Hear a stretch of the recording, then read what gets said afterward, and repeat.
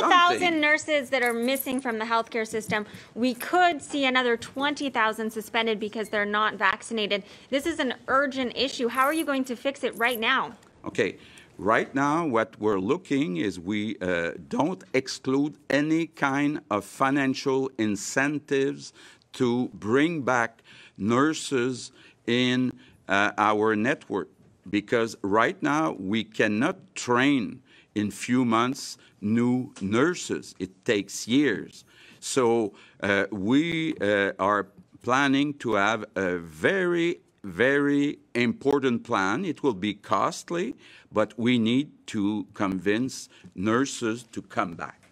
And when, when can we see that? Uh, I would say, I hope in the next week. The clock is ticking. You need 4,000 to 5,000 nurses from private agencies or What- what- what Money we- talks, Mr. Okay. Dubé? What we need is we, the, the Premier has been very clear. We need eh, over 4,000 nurses to come back in the system. They can come back from the private, they can come back from retirement, they can come back from agencies. So that, that's what we need right now.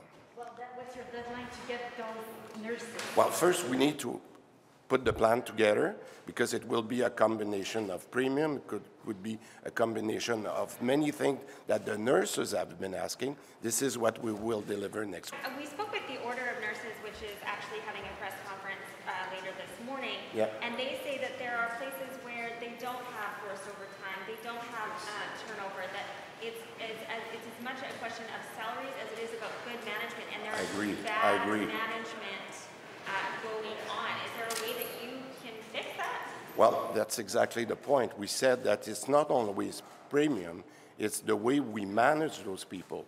We've seen, I've seen in, uh, in certain, uh, for example, take at the Jewish, take at the CUSM, take in most of the Anglophone system, they don't have uh, uh, temps supplémentaire, they don't have, because they're managed properly. And this is what we need to put overall in the system. That's the solution. It, it's as if now nurses' unions have the full power of negotiations. You're basically, the door is open, we'll pay you as much as necessary to get back 4,000 to 5,000 nurses. We need you now. It's now.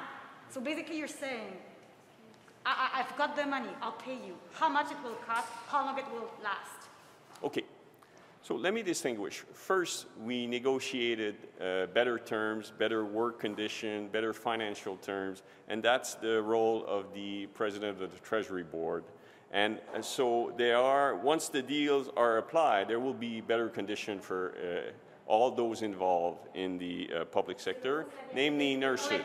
We have a, a difficult situation right now where we need some people to catch up and come back to help out, and we are looking at providing monetary incentive in order to help do that. So and that will cost uh, a, f- a few hundred millions, depending where they come from, at which time, uh, who, who is it that's coming to help, over what period. There's a lot of assumption. We're still working on this.